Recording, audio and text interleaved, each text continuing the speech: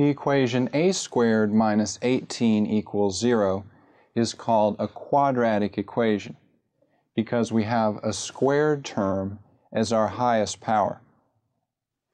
In the past, we've solved quadratic equations by first setting the equation equal to 0, then factoring. Notice, however, that a squared minus 18 does not factor.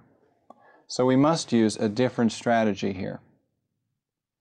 Our first step in this problem is to get the a squared term by itself by adding 18 to both sides. That gives us a squared equals 18. Next, we must get the a by itself. And in order to do that, we do the opposite of what is happening to a. And since a is being squared, the opposite of squaring is square rooting. So to get a by itself, we square root both sides of the equation. On the left, the square root of a squared is a. And on the right, remember the following rule.